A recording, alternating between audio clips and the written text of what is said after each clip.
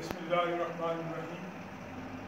last time uh, we discussed uh, introduction of the neurons, neuroglia, and then I told you about how how is myelin sheath formed, that is the myelinogenesis.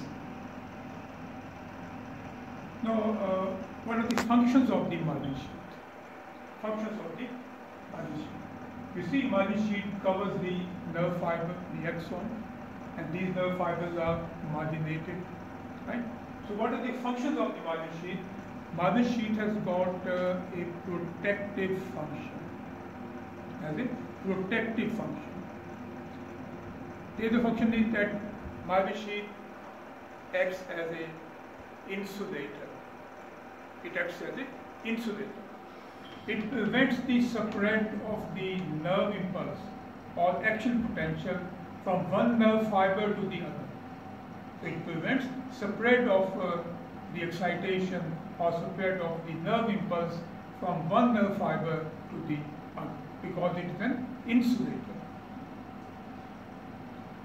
The other function is that it increases the velocity of conduction along the nerve fiber. So myelin sheath increases the velocity of conduction along the nerve fiber. So these are the functions of the myelin sheath. Today I will discuss about uh, first about the nerve degeneration. Nerve degeneration, also called uh, Wallerian degeneration after the name of a scientist. So it is called nerve degeneration or Wallerian degeneration. A nerve degeneration occurs when there is a crushing injury to the nerve, crushing injury to the nerve, section of the nerve, injection, local injection of uh, some toxic substance, local injection of some toxic substance, and interference or interference with the blood supply. So these are the causes of the nerve degeneration, crushing injury of the nerve, section of the nerve, local injection of the toxic substance, and then interference with the blood supply. Now we discuss uh, the mechanism or the process of nerve degeneration when the nerve, nerve is sectioned, nerve is cut.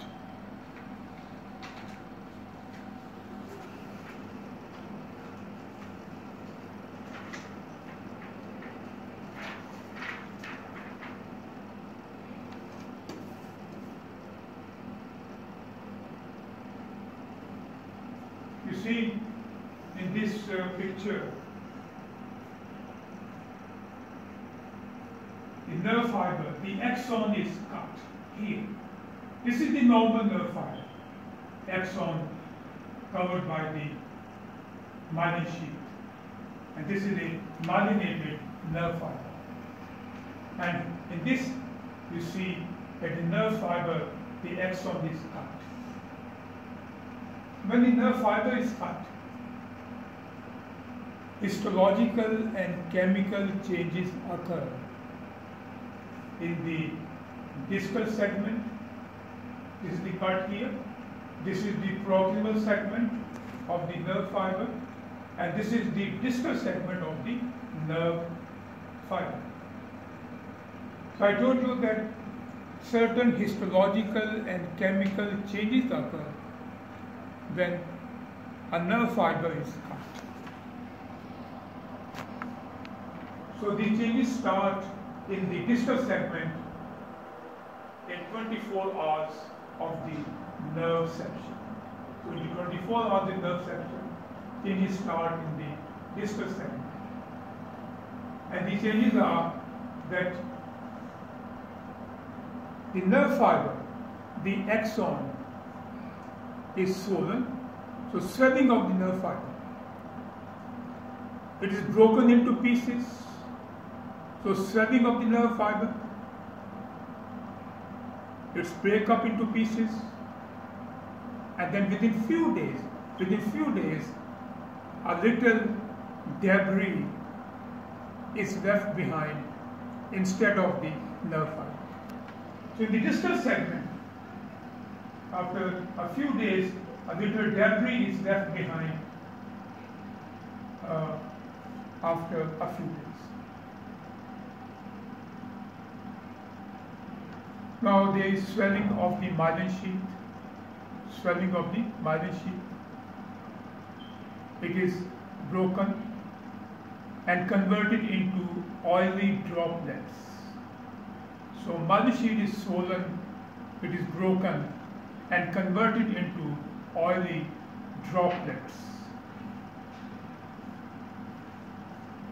At this stage, at this stage, the nerve fiber undergoing degeneration, degeneration can be identified by Marchi staining, M-A-R-C-H-I.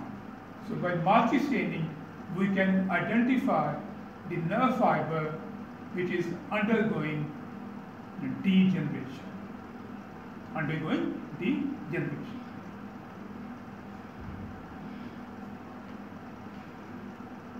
You see, this is the distal segment. Is proximal segment. Right? Now, up to three days of the nerve section, the distal segment continues to conduct, continues to transmit nerve impulses. Right? So after after three days of the nerve section, the distal segment it continues to transmit nerve impulses. After three days, transmission of nerve impulse is impaired. So after three days, transmission of the nerve impulse is impaired. After five days, after five days, no nerve impulse can be transmitted by the distal segment of the nerve. So after five days, no nerve impulse can be transmitted by the distal segment of the. Now after the nerve degeneration in the distal segment, the left behind will be endoneurial tube along with Schwann cells. So after nerve degeneration, say left behind will be endoneurial tube along with some Schwann cells.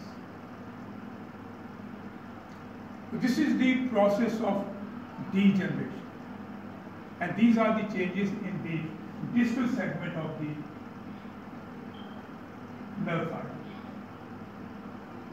Changes also occur in the cell body of the neuron. Changes also occur in the cell body of the neuron. And the changes occur in 48 hours of the nerve injury.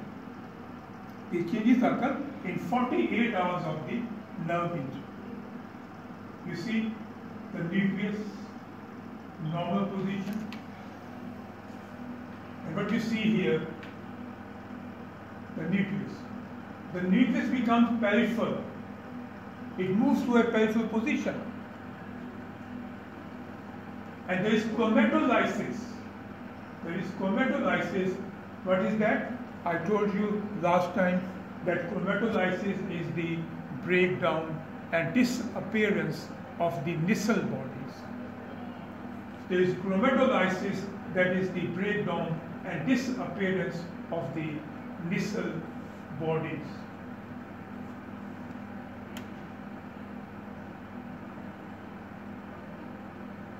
Right? So these changes also occur in the cell body. And keep in mind that nucleus which becomes eccentric to the periphery, nucleus can be expelled out if the injury to the nerve is severe. So in case of severe injury to the nerve, the nucleus can be expelled out of the cell body and in that case, in that case, there won't be any nerve regeneration. In that case, there won't be any nerve regeneration. there is no nerve regeneration if the nucleus is expelled in case of severe injury to the nerve. So these are the changes uh, which occur when there is nerve degeneration or Valerian, Wallerian degeneration. Nerve regeneration can occur in the peripheral nervous system, of course not in the central nervous system. So nerve regeneration can occur in the peripheral nervous system but not in the central nervous system.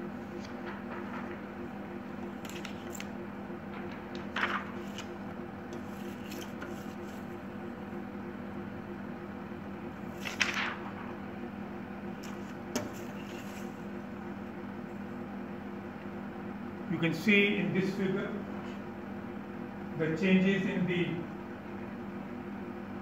cell body of the neuron when there is nerve degeneration. You see, this is the nucleus, Nissl bodies, right? And what you see here, chromatolysis, no Nissl body, you see? These are Nissl body, Nissl granules.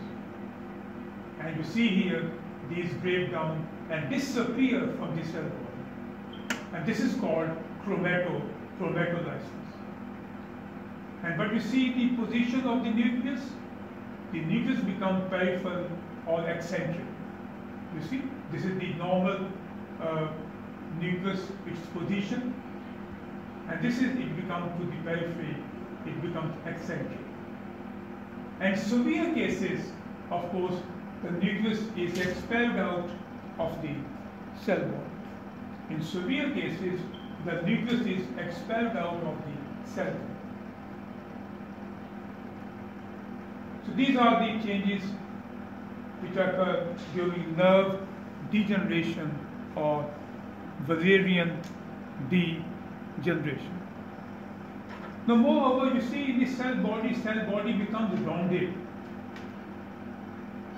You compare this cell body of the neuron with this cell body of the neuron, it becomes rounded, rounded due to increased fluid content. It becomes rounded due to increased fluid content. Right? Now when nerve regeneration occurs, it starts. It starts within say 20 days of the nerve section. So nerve regeneration can start after about 20 days of the nerve section if conditions are favorable. If conditions are favorable. Now after the nerve degeneration, what was left behind? Endoneurial tube along with Schwann cells. and the neural tube along with the Schwann cell. Now if nerve fiber is to regenerate, then or you say when there is recovery, or nerve fiber is to regenerate, in that case, the nucleus in the cell body changes occur, changes occur. The nucleus becomes central, you see. The nucleus becomes to its own original position, it becomes central. Nissl bodies, Nissl granules reappear, Golgi apparatus reappear when there is going to be recovery or there is regeneration. There is regeneration.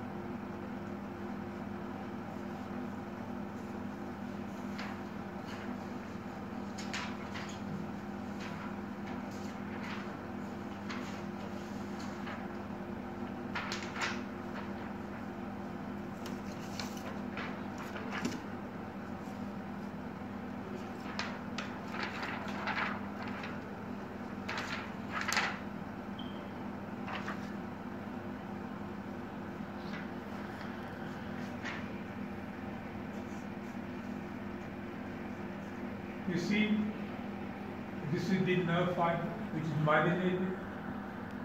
and this is the section in the nerve fiber. Right? I told you by discussing the nerve degeneration that the axon it swells up, it breaks down, and little debris is left behind instead of the axon. Moreover, the Myelin sheath is swollen, it breaks down and replaced by oily droplets. You see, replaced by the oily droplets. You see here also myelin droplets instead of the myelin. And after this nerve degeneration left behind will be endothelial tube, endothelium, along with the Schwann cells, along with the Schwann cells. Now in this process of degeneration, degeneration, the Schwann cells and the macrophages, these help. So Schwann cells and macrophages, these help in the process of degeneration. Now, the nerve fiber is to regenerate. And we discuss now about the process of regeneration. The process of regeneration.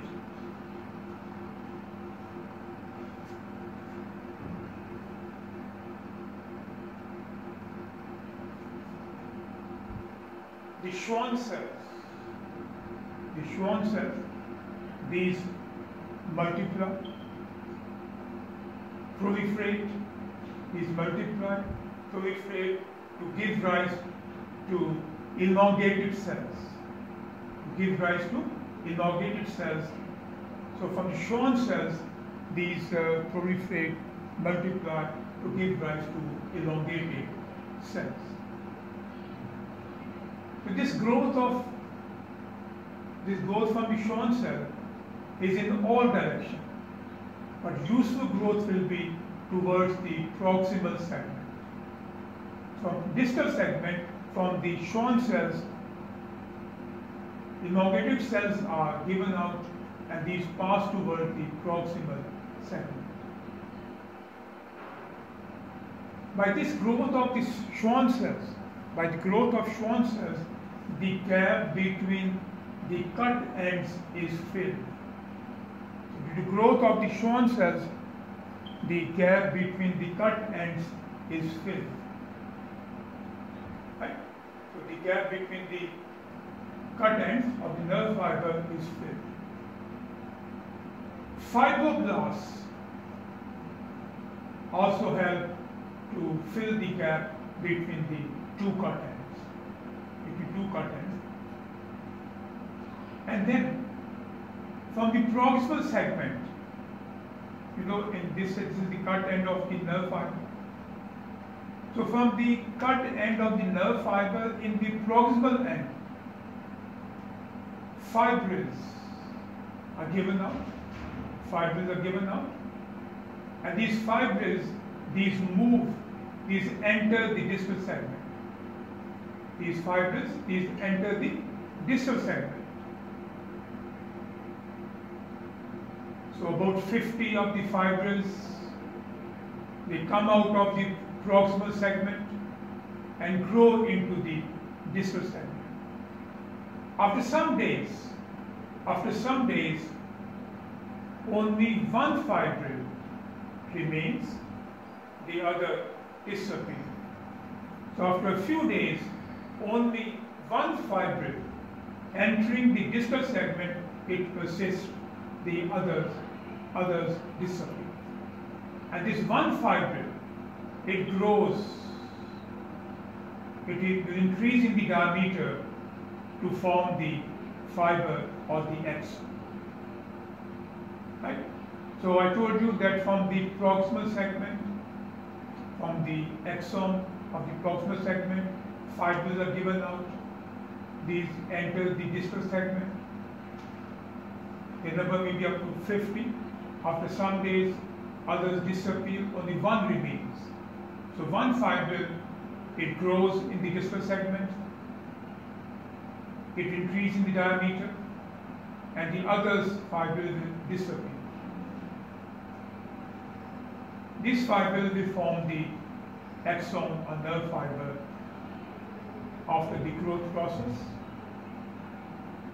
Now keep in mind that the newly formed nerve fiber has a diameter not more than 80% of the volume. So newly formed nerve fiber has a diameter not more than 80% of the volume. This is the axon nerve fiber newly formed. Its diameter is not more than 80% of the volume. After about say three weeks, myelin sheath also begins to form. After about 20 days, the myelin sheath also begins to form. This is the nerve fiber. nerve fiber after regeneration. This is also the nerve fiber, the fibril after regeneration. And these are Schwann cells which will form the new myelin sheath. Now after this regeneration, the newly formed nerve fiber is present about, uh, say after about uh, three weeks or three months, th- three months. But the completion of the myelin sheath, so myelin sheath growth is completed after about one year. So regeneration of the new myelin sheath, it takes about uh, one year.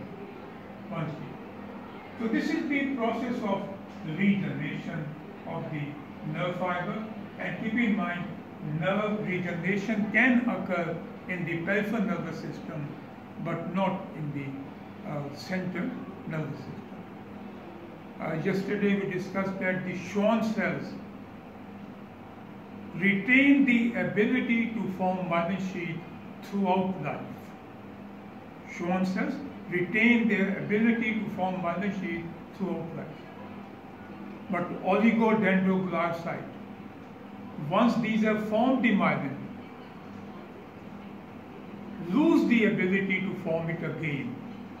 So that is why there is no regeneration in the central nervous system, but it can occur in the peripheral nervous system.